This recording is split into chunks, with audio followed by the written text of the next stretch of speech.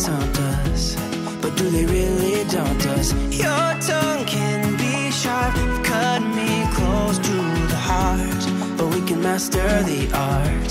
And the thing is that these scars are scary, but they are just small scars. We should never be afraid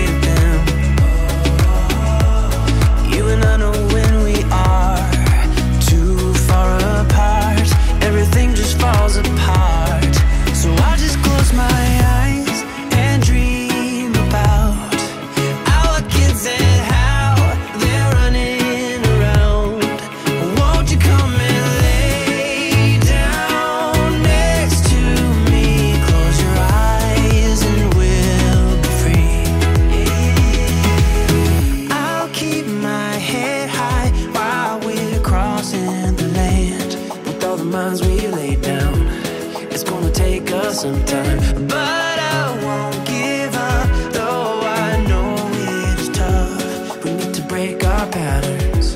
It's better now than after we have drifted off too far.